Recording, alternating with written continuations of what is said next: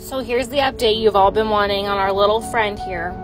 We ended up naming him Rocco because it kind of reminds us of Rocky the fighter who comes out on top. And this baby clearly was a fighter who came out on top. He is very lucky that that bobcat did not get the best of him.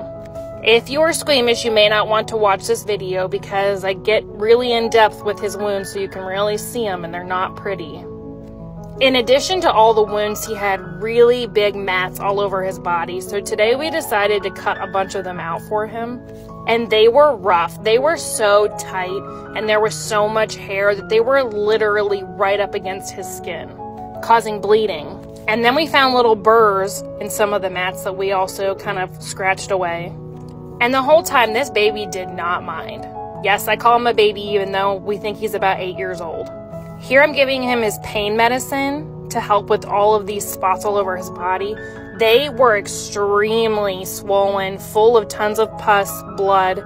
His face is about twice the size that it normally should be. You can see in the ear canal there that he even got tore up there.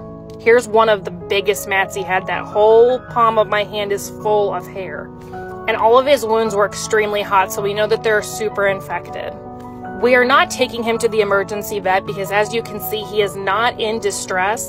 So we're to get him into the vet tomorrow. That way we don't spend a crazy extra amount of money at the emergency vet because he's not going to be the only emergency case we have. So we really need to put our money towards ones that actually need the emergency vet. His pain meds will keep him happy until then.